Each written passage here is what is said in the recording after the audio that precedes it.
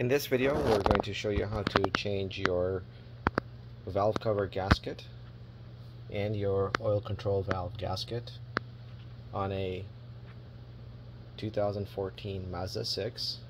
The same applies to um, CX-5 engines as well. In order to gain access to the top of the valve covers we will have to remove this cover uh, basically you pry on the four corners of the cover which will release the cover. We go ahead and remove the cover. The next steps that we would do is we will have to unplug the coils then remove the 8 millimeter screw bolts that hold the coil in place remove each of the coils. The next thing that we will do is we will remove this hose right here and then we will remove this hose. And then we will come in here and remove this connector that holds this hose in place so that we can lift this hose out of the way. We will then next disconnect the oil uh, control valve right here. We will unhook this connector here that holds this uh, wiring harness along with the connection here. Once we've been able to do that, then we will move the harness out of the way, pipes out of the way, and then we will have access to the top of the valve cover so we can get started on removing the bolts that hold it in place. So let me get started with the rest of the items before we get to the bolts on the valve cover. So when we're trying to, re to release these two clips. Uh, what you want to do is, is you want to push from here, from the side, you want to push in on this nib. And once you do that, you're able to lift it up and this side of the clip will come out.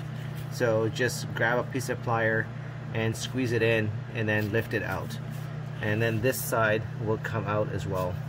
Similarly on this side, the orientation of this clip is in the same direction so you're able to sit fit in a flat head screwdriver and you what you do is, is you push this way. In order to squeeze that side in order to squeeze that side of the clip in lift up and then this side will come out as well. It may twist outwards but just push it back up and you should be good. Just wanted to show you how to get these two clips out. After, after having removed this uh, hose, you move this out of the way, you undo this clip, undo this clip and push the hose up. We're going to push the hose through here and we will move it out of the way. So this pretty much clears everything from the top of the valve cover. The next thing we're going to do is, is remove this and then we will start undoing these bolts. So now that we've got everything removed, we're going to go ahead and start removing this with a 12 millimeter socket. So we're going to do this, this, all these bolts across the front, then here, top, bottom, and then on the back side. In addition to the screws or bolts that are around the perimeter, there is this one here and this one here also that needs to get removed. But then also to gain access to this bolt right here, we're gonna have to undo this eight millimeter uh, bolt in here so we can unhook this, move this out of the way so that we can drop the uh, ratchet or impact gun right above that. So right now, uh, after having removed these bolts, uh, this unit is not coming off uh, very easily. Um, it is still stuck. So what I did is, is uh, you want to be gentle with this thing. And so I took a rubber mallet and I pretty much hit it along all these flat surfaces uh, as much as I could, hitting it along these sides hitting it this way and then hitting it in this direction and then trying to tap it uh, over here um, just systematically going around. Uh, after that, um, I took a flathead screwdriver and probably what's better is to use a uh, putty knife. Uh, it's, it's a wider blade, uh, so it's not as small. And so um, just trying to uh, trying to put it in between here and just trying to lift lift the uh, the valve cover. And so um, I just went around gently because you don't want to ruin the surface of the uh, the valve cover uh, the you don't want to ruin the surface on which the rubber seal goes. So you want to be careful on trying to pry this. And so what I did is as I was you know trying to pry the different areas I am just moving in the areas that it's kind of restricted. And so I've been able to kind of release the front end of this. And so what I'm going to do is I'm going to repeat the same thing all the way I'm going to repeat the same thing all the way around and then on the other side. Uh, the goal here is and this is plastic uh, we want to be as gentle as possible and we do not want to ruin the uh, the surface on here. So use a putty knife and take your time. Uh, there's no there's you're gonna save a lot more time and money if you make sure you take the time to remove this gently and not crack this. So I'm gonna continue and once I've got it broken free then I'll show you how I've been able to pull this off Okay, so I had to bend this clip a little outwards, but you want to be really careful because it started bending at the tight corner and you may end up breaking it. So I did bend it a little that way. Uh, what it does is it allows me to be able to lift it, lift upwards. So while I'm able to lift up and shift it backwards because what happens is this uh, this circle and the front face of this uh, valve, uh, control valve uh, plug, it allows you about a quarter inch to go backwards. And once, and once you're able to do that, then this front corner clears this metal clip. So just basically lift it up, go backwards, twist it towards you, and then slowly you can wedge it clear of the front and also we'll be able to clear the valve in the back and then this whole thing can come off.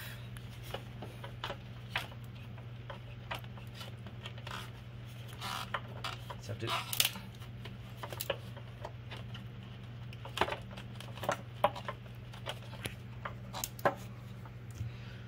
almost have it.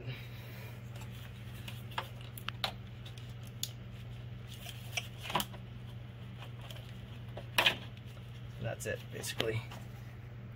And there we go. The cover is off. And we've exposed the valves. So this is what it looks like from behind. The, the gasket has been left on the valves itself, the, the valve heads.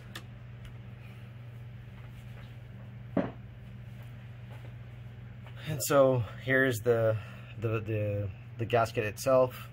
And let me show you a little close-up of the backside. So this is what the backside looks like. And it's kind of evident if you were to touch this um, that this is on the car pretty hard. Even the corners that have the RTV are not leaking.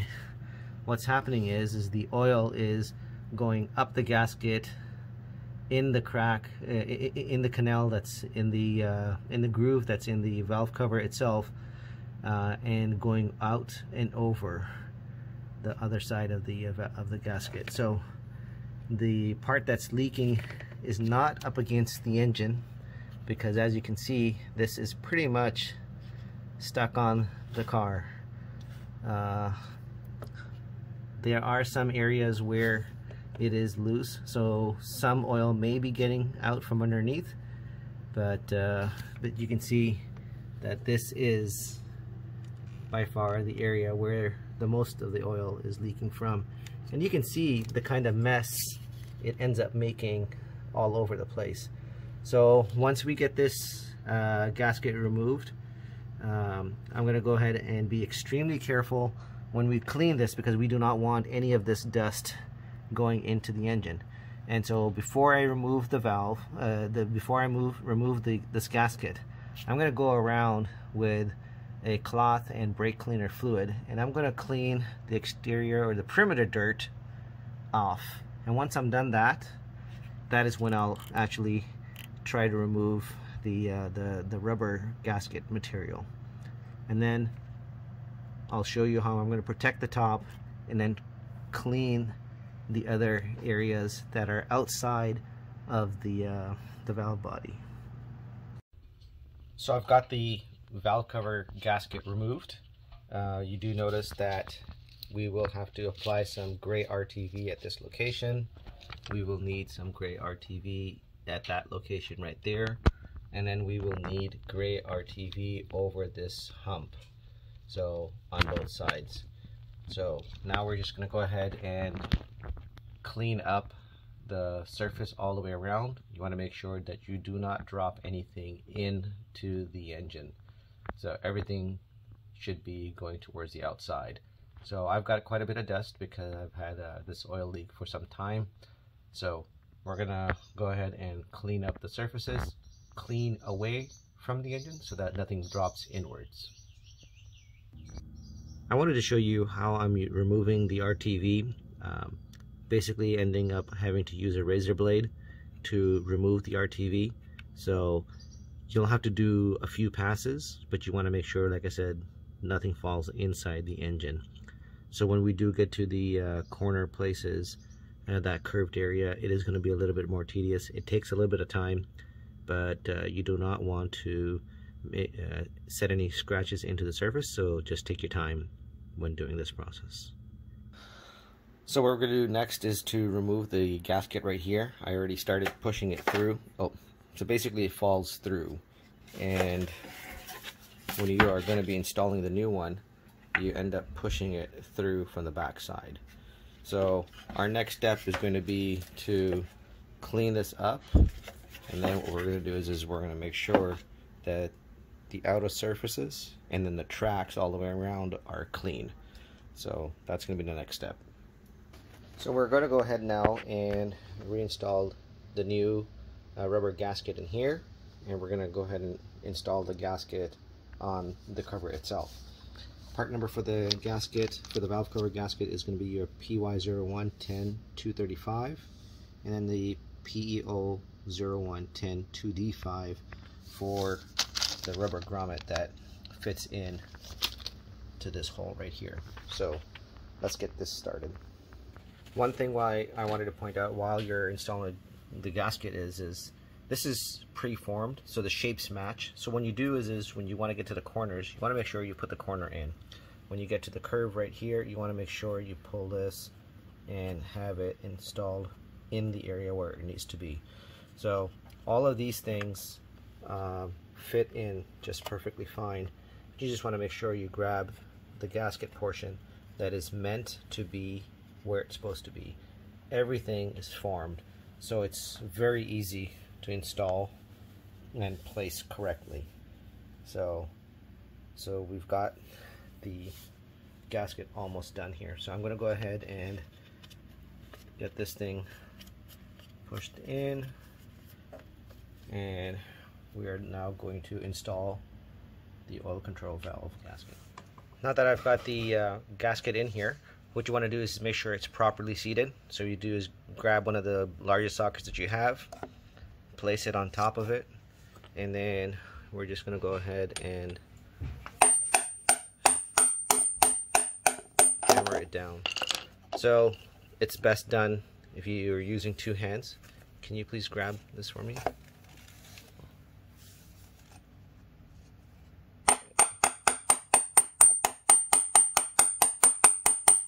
That's it. Basically, this just ensures that the gasket gets seated correctly. And now I've got the head gasket uh, installed. We've got the new grommet installed. So we're pretty much ready to get this thing installed into the vehicle.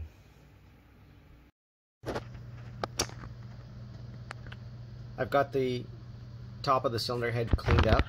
Everything is, all the marks have been cleaned off. All the RTV has been removed. We ended up uh, using the abrasive pad uh, from one of the dishwashing things. Um, it actually did a fantastic job at removing all of the oil marks and everything. Uh, use the blade for the RTV, just had to be extremely careful and take your time. These are aluminum heads, so you do not want to scratch anything. So all of the surfaces have been cleaned up. Um, you want to spend as much time as possible, get the corners cleaned out. And now we're going to go ahead and start applying the RTV. We're going to be applying the RTV at this location. And the purpose why you're adding the RTV is, is because there's going to be uneven areas that need to make sure that the rubber gasket that you are providing uh, does not leave gaps. And so this is one area because you have the front part of the assembly that's connecting to the heads. So there is a vertical discontinuity and so there is a slight step between here. So that's why the RTV gets applied here on the front side and the back side. Again, it's the two, two surfaces mating. And then the RTV is applied to uh, both sides of the curve and you can apply it all the way up and around the curve as well and that's again because you have an abrupt change in surface at those two locations and so what ends up happening is once you put the uh, silicone when once you put the gasket in the cover you'll notice that it isn't going to sit right exactly at the two corners and so uh, that is why you apply the RTV at, at this location as well so the RTV was only in the two corners and about a half an inch up the side but we're going to go ahead and uh, apply it all the way across the top as well. So I'll show you what that looks like as soon as I'm done.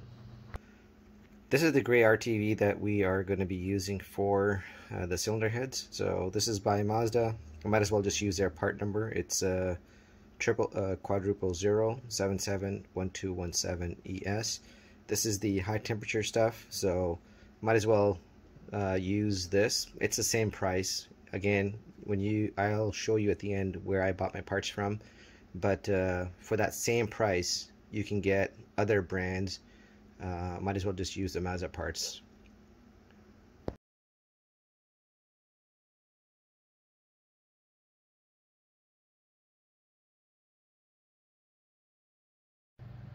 I've got the RTV applied it's about an eighth inch tall I've applied it to this side I've applied it to here.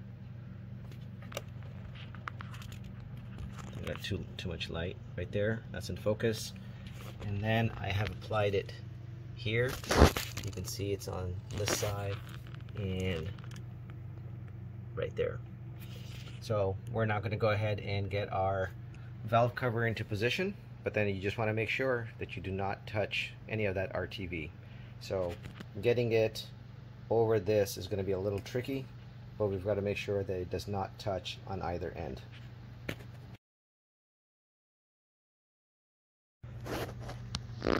With the cover installed, we went ahead and uh, tightened the bolts down to when they stopped, and we used the uh, numbering scheme. We followed the uh, numbering uh, that was online that I found uh, in the service manual. I'll share that with you uh, after this video clip. After having done that, then we used a torque wrench and we tightened to 40 to 61 pound feet, uh, pound inches, not feet. Uh, that would be approximately a maximum of five pound feet. Uh, we used a, uh, a, torque wrench for that. Again, you follow the sequence that is provided and I'll share that with the diagram the primary process is to do the middle and then work your way outwards. So you do the middle, then you'll do one side, then one side, then the other side, and then thing, moving from one corner to the other. So it'll be pretty clear to you as soon as I share that screenshot with you.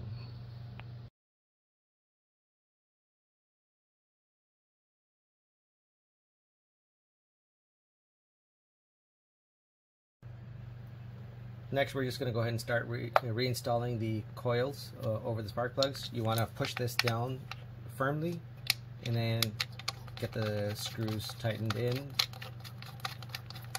And then once that is done, we're going to install the rest of them and then we're going to go in and uh, tighten the, uh, the bolts on top. We're going to repeat the same process for the remaining three spark plugs. Once the coils have been secured, we're going to connect them to the electrical connectors. Next thing is to reconnect the two hoses that we removed that are marked with the purple orange, uh, purple arrows. Then we're going to reconnect the plastic uh, connector that is marked blue. We're going to plug in the uh, oil pressure sensor connector marked in red arrow. And then we're going to pull the wiring harness and pin it back to its location at the two yellow marks.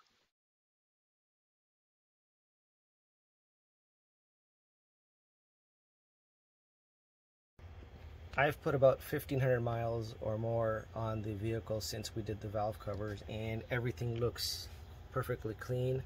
The RTV area is not leaking.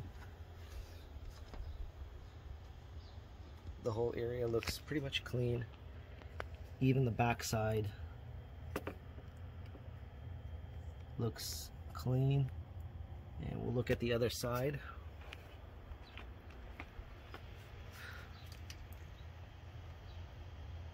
the area over the, the the camshaft is clean as well and we do not have any signs of any oil leaks This concludes this repair. I want to thank you for taking the time to watch through this video. I hope that this will be useful to you when you do this repair. If you have any questions, please ask me down below and I will try to do my best to reply them in a timely fashion. Or if you've got any other suggestions that somebody else can use. Please help me out by liking, sharing, and subscribing to the channel.